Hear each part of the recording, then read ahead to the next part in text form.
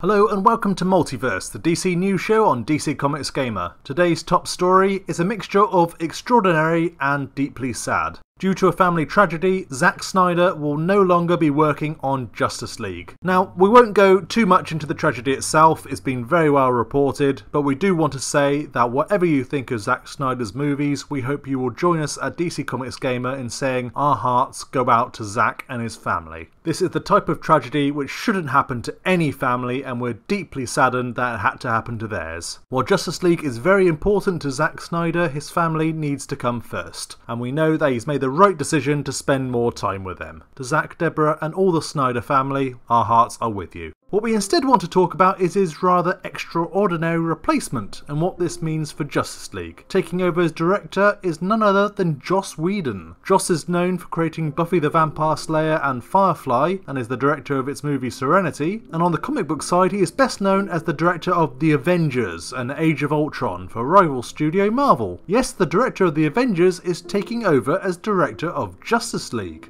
Joss Whedon had been down as the director of Batgirl, but presumably he was asked to finish the movie after Zack Snyder's tragedy and agreed. So what does this mean for Justice League? The short answer is not too much, but there will be definitely be scenes that have a more Whedon-like flavour as they will be written and directed by him, presumably with a touch more humour. The Hollywood Reporter notes that Zack Snyder asked Whedon to write some new scenes as part of the reported reshoots. However, Warner Brothers Pictures president Toby Emmerich has quoted that the directing is minimal and it has to adhere to the style and tone and the template that Zack set. We're not introducing any new characters, it's the same characters in some new scenes. So don't expect Darkseid, Kalibak, or anyone else to show up if they weren't in the film already. These new scenes will undoubtedly not be big new action scenes, as that would require a lot more time, effort, and cost than just bringing back a few actors to do a few scenes, but could be interludes in action scenes. Undoubtedly, these scenes will be small, character driven moments that will allow the Justice League to grow as a team, presumably through banter and arguments. That certainly is the Joss Whedon style, but we're all for more team based dialogue between members of the Justice League. We just have to hope that these new scenes will fit naturally into the narrative, as following Suicide Squad, that is our only worry. Suicide Squad also received extensive reshoots designed to bump up character moments, and the plot ended up very messy, so hopefully that won't happen here.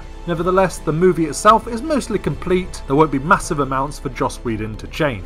However, it does mostly make us wonder if and when Justice League 2 happens, will Joss Whedon be first in line to direct it? Now, that will certainly be interesting, and we wonder how this will affect his Batgirl movie, if at all. But what do you guys think about Joss Whedon taking over Justice League? Leave a comment below with your opinion and we'll be sure to answer. But please, if it's about Zack Snyder's family, please keep it respectful. Thanks for watching guys, please leave a like, they really help us out, and subscribe to DC Comics Gamer for daily DC Comics videos. Multiverse out.